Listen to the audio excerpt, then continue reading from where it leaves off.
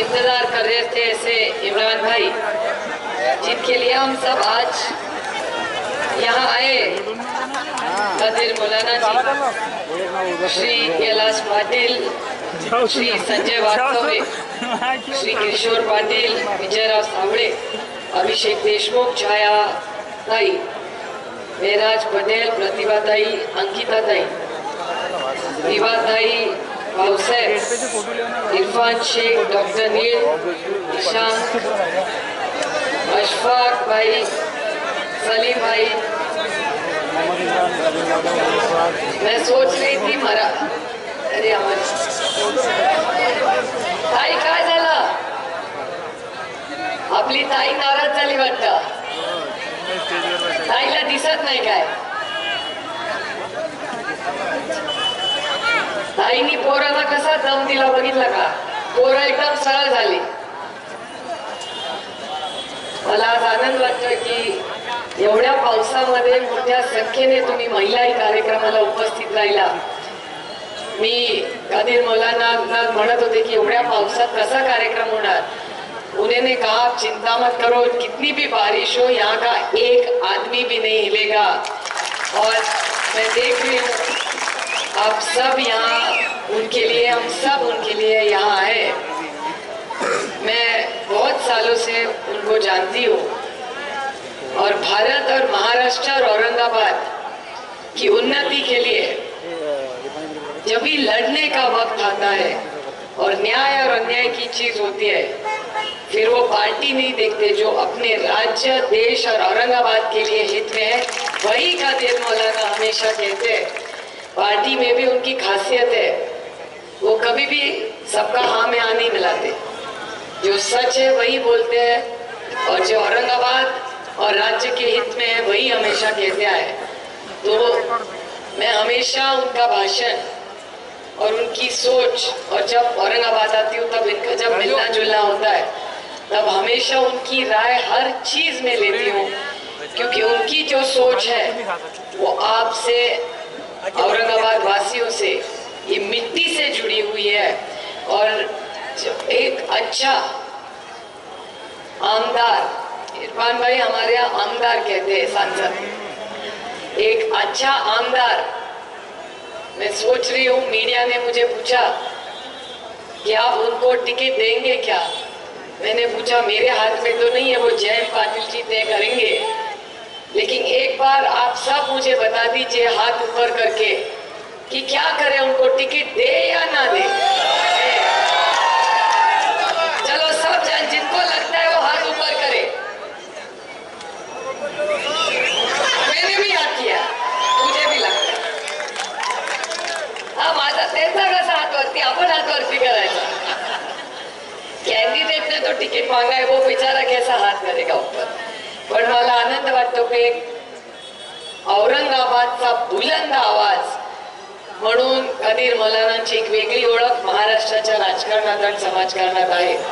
त्यांचं भाषण ऐकताना आप भाषण में मेक इन इंडिया के बारे में बोल रहे थे. मैं पूरा ये देख रही थी उधर वो शू जंगल है मास्टर टेलर है फ्रेश जूस सेंटर है.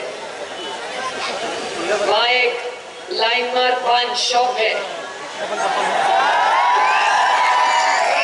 नाम भी क्या है? लाइन मार बता मैं कब से सोच रही थी कि ये क्या नाम हुआ? मुझे पहले बार जब देखा तो मुझे लगा कि कुछ गलत पढ़ रही हूँ मैं। फिर से देखा एक, दो, तीन बार। और मैं पार्टी के वरिष्ठ नेता के साथ बैठी थी, उसको पूछ भी नहीं पाई कि ये ठीक पढ़ रही हो कि नहीं। अभी किस मुँह से उनको पूछूँ? ये तो मेरे फादर के टाइम के लोग हैं, उनको कैसा पूछूँ? ये लाइन मार का मतलब क्या होता है? इतनी तो शर्म रखती हूँ मैं यार। लेकिन ये सब वजह मैं बोल रही थी कि ये सब जो मेक इन इंडिया का है, मैं कदीर भाई, मैं सोच रही थी, सुबह भी मैं किसी से पूछा कि ये मेक इन इंडिया का हो क्या रहा है? आपने तो बजाज ऑटो टाटा और बड़ा बड़ा बोला। मैं खुद का सोच रही थी। मैं सोच रही थी कि मेक इन इंडिया मेरा क्या फॉरेन का मुझे लगता है? ये जो बिंदी लगाती हूँ ना, ये मेड इन इंडिया है। मेरा मंगलसूत्र है ना मेड इन इंडिया है। मेरा चश्मा इरफान भाई, ये पता ये चेन कहाँ से आता है? पता है आपको? ये यूपी से आता है। यूपी से हाथ से बन के मेरे लिए आता है। और यूपी में हम व्हाट्सएप पे भेजते हैं। यूपी मेरे घर में सारे ये यूपी का यूज़ करते हैं। मेरा चश्मा भी मेक इन इंडिया है, मेरी साड़ी भी इंडिया है। मेरी चप्पल भी इंडिया और मैं खुद भी मेक इन इंडिया ही हूँ। तो ये सब जो make in India startup India पता नहीं क्या क्या करते जाते हैं। लेकिन एक चीज़ आप देखिए, इनका सारा प्रोग्राम छह महीने ही चलता है। आप कोई मेक इन इंडिया के बारे में बोलता है, कोई नहीं बोलता। फिर स्टार्टअप इंडिया अरे इतने इतने, और आप तो टीवी पे देखते हैं। मैं दिल्ली में जहाँ बैठती हूँ ना, पूरी 300 लोग ऐसे बैठते हैं और मैं यहाँ बैठती हूँ। और ऐसे 300 लोग, कुछ भी हम लोग बोलो, चिल्लाते रहते चिल्लाते रहते लेकिन मैं उनसे नहीं डरती। 300 लोग क्या कर लेंगे? क्योंकि कॉपी करके पास हो के आया, मैं तो मेहनत करके पास करके आया। और जो बच्चा कॉपी करके पास होता है, उससे सच्चाई को क्या डरना? तो कितने भी 300 हो या कितने हो, मुझे नहीं उनका डर लगता। क्योंकि मैं जो चीज़ कहती हूँ, वो हमेशा सच कहती हूँ। और इस लड़के ने जो कहा कादिर भाई ने ऐसा कहा कि कांग्रेस राष्ट्रवादी की सत्ता आएगी उसके बाद आपने कहा, इंशाल्लाह। आज ही किसी ने मुझे, इन्होंने कहा, आज ही किसी ने मुझे कहा कि कितने आएँगे अपने तो सौ, दो, डेढ़ सौ तो चुन के आएँगे। मतलब इंशाल्लाह आएँगे। मेरी भी हमेशा आदत है, मैं बहुत ज़्यादा इंशाल्लाह बोलती हूँ। क्योंकि मैं मैं जिस माहौल में पली हुई, बड़ी हुई, वो महाराष्ट्र आज से अलग है। ये कोई हिंदू है, कोई मुसलमान है, कोई फारसी है, कोई क्रिश्चियन है, ऐसा कभी माहौल इंडिया भारत में था ही नहीं। मेरी सबसे अज़ीज़ जो दोस्त है, स्कूल की दोस्त है, उसका नाम है अनीता।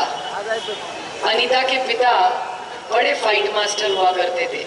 उनका सरनेम था भुरानिया पता नहीं पुराने लोगों को शायद याद होगा। और वो स्टंट्स करते थे सिनेमा में, फिर उसका भाई भी करने लगा, ये धूम पिक्चर वगैरह है ना, उसका नाम एलन है। अभी एलन करता है वो स्टंट्स तो अनीता बुरानिया मेरी दोस्त। थी उसकी माँ क्रिश्चियन थी, लेकिन फादर मुसलमान थे। और कॉलेज स्कूल में मेरी, पहली कक्षा से में मेरी दोस्त है। उनके घर में हमको दो बार दावत हुआ करती थी। एक बार ईद पे दावत हुआ करती थी और एक बार क्रिसमस के लिए हमको दावत हुआ करती थी। कभी सोचा भी नहीं कि ऐसा कैसा घर है। क्रिसमस पे भी बुला लेते, ईद पे भी बुला लेते। और अब मुझे, अब जो माहौल में देखती हूँ, उसमें मैं सोच में पड़ती है हम जब छोटे से बड़े हो रहे थे, स्कूल में उस घर जाते थे, ऐसा कभी भी नहीं लगता कि उसकी माँ क्रिश्चियन है, कि उसके फादर मुसलमान है। इतनी बढ़िया बिरयानी उनके घर में कहती थी, बाकी कुछ याद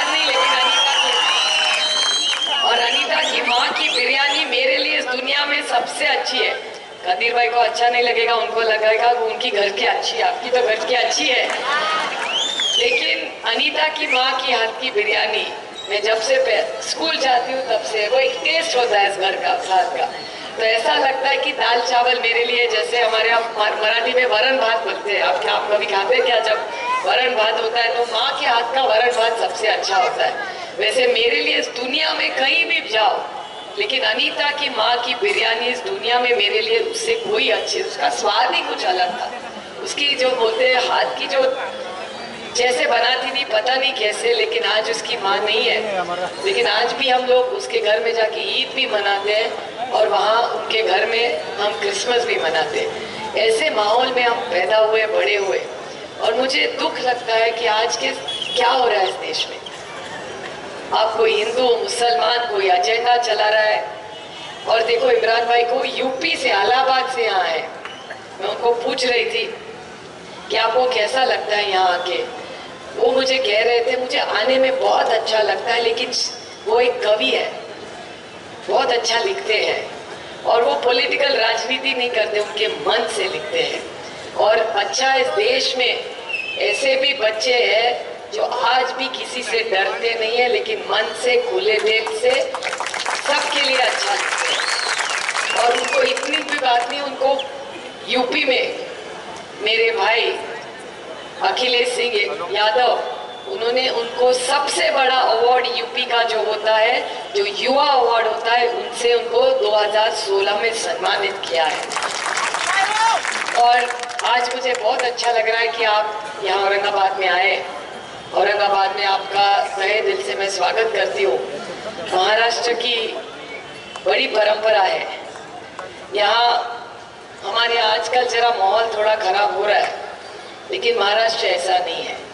महाराष्ट्र में हम सब मिलजुल के प्यार से रहते हैं। और आज का सरकार का जो माहौल है, जो एड्स चल रहे हैं, बहुत सारे में जब देखती हूँ तो मुझे दुख लगता है, क्योंकि मेरा महाराष्ट्र आज किसी चीज़ में अव्वल नंबर नहीं है।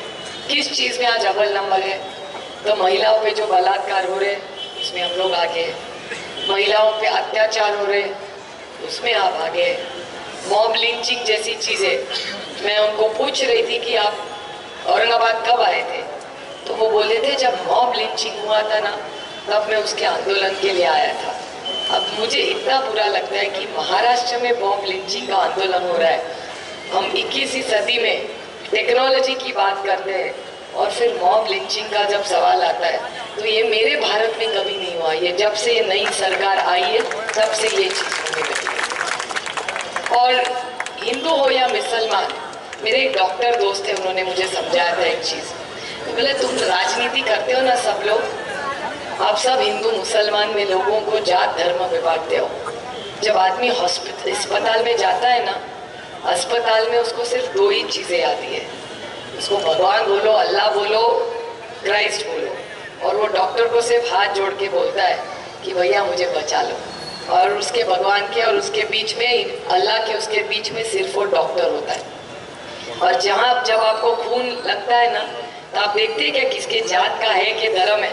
आप बोलते हैं, भैया, जो भी अच्छा खून दे दे भैया मुझे।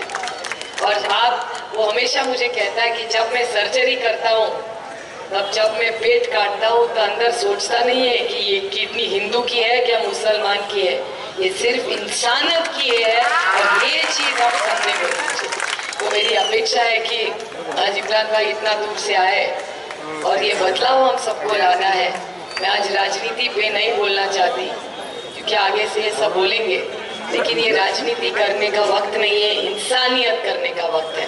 तो ये इलेक्शन में हम सब पे बहुत ज़्यादा ज़िम्मेदारी है। अभी टिकट का तो चार पाँच दिन में फाइनल हो जाएगा।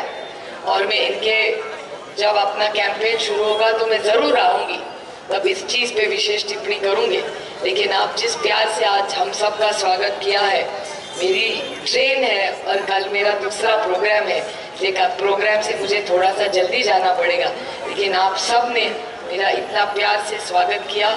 इसलिए मैं आप सब की बहुत बहुत शुक्रगुजार हूँ। और ऐसे ही आप पार्टी के साथ और इस विचार के साथ आप हमेशा साथ रहेंगे। आपकी शुभकामनाएँ। मेरा एक दोस्त हमेशा मुझे कहता है, सिर्फ़ हम सबको आपके दुआओं में याद रखना।